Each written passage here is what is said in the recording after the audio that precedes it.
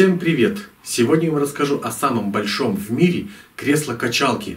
Как вы думаете, какое кресло является самым большим на нашей планете? На ум сразу же приходят царские троны или декорации из голливудских фильмов. Однако, даже самые смелые предположения с большей долей вероятности окажутся несостоятельными, если взглянуть на фотографии самого большого кресла из когда-либо созданных. А речь идет о гигантском кресле-качалке, которое можно найти у небольшого магазина в Миссури.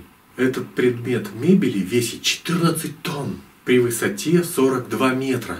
Такую мебель невозможно не заметить, а многие люди специально приезжают сюда для того, чтобы сфотографироваться с креслом, которое успело превратиться в местную достопримечательность. Конечно же, старания создателей не остались без внимания со стороны представителей книги рекордов Гиннесса. Официальные ее представители побывали здесь, произвели соответствующие измерения и постановили, что данное кресло по праву может считаться самым большим на Земле. Об этом и гласит соответствующий сертификат. Хозяева магазина, возле которого установлено кресло, задумались об интересной композиции для привлечения клиентов еще много лет назад. Идей было много, но выбрать какую-то одну было весьма проблематично. Тогда и было принято решение за помощью обратиться к другу, по совместительству являющимся дизайнером и художником.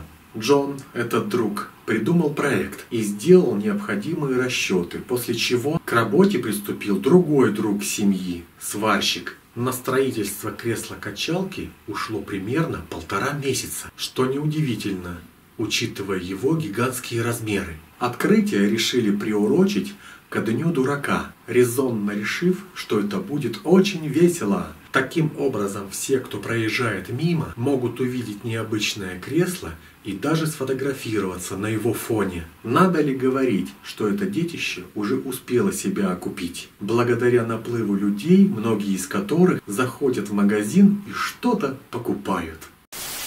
На сегодня все. Спасибо за просмотр. Надеюсь, видео вам понравилось. В предыдущем видео я рассказывал о самой большой картине, нарисованной под водой. Ссылочку оставлю в описании. Всем удачи и пока!